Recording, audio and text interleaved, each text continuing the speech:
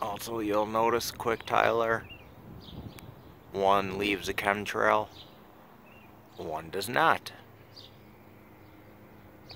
I don't know if you could figure out or zoom in anymore. See what these are. Sorry, my phone isn't that great.